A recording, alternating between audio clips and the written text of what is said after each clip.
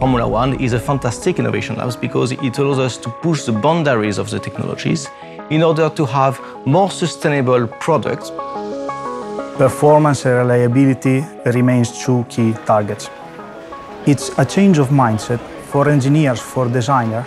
Sustainability has become now an added parameter, an added target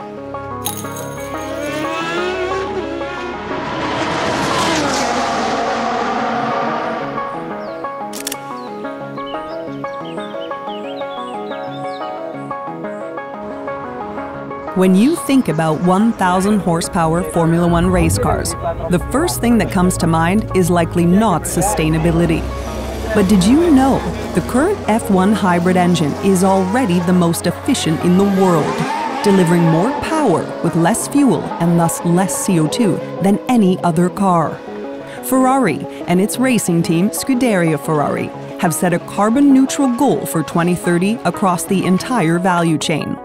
As a technology partner to Scuderia Ferrari for the last 75 years, SKF is doing its part to cross that finish line.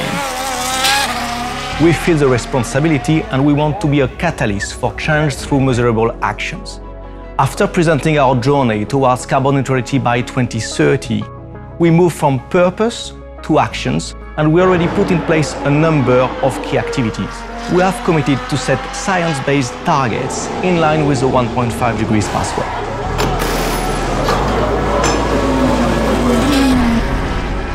The way we could achieve this target is to design components that are more and more efficient, lighter components to, compared to the current solution, but also using technology that, for example, are more sustainable than the current one, and even designing toolings that the team need during a race event that are lighter and with less volume than the current one that we are using.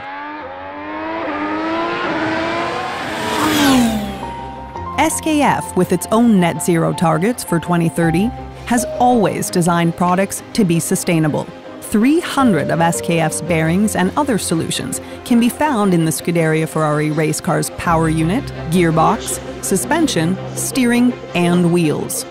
The key point on this partnership is that Scuderia Ferrari can rely on SKF contribution regarding development of products that are necessary for our car, but also regarding the development of this product, also pushing the engineering and the design to some kind of research and development activities.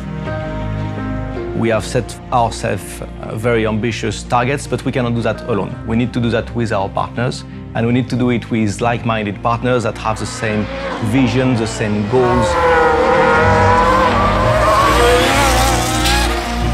Many initiatives are already underway to reach Ferrari's carbon neutrality goal for 2030 including the race team's reduction of transport shipments by 10% in the last two years, the installation of photovoltaics on the roofs of its factories in Maranello, and the advanced electrification of its regular road cars.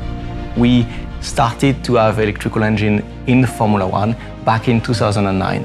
Um, Ferrari, shortly after that, introduced them into its road car, with the first one being LaFerrari. Now it has developed into a whole range of um, uh, hybrid vehicles. We have four currently, and, and, and of course it's going to further expand.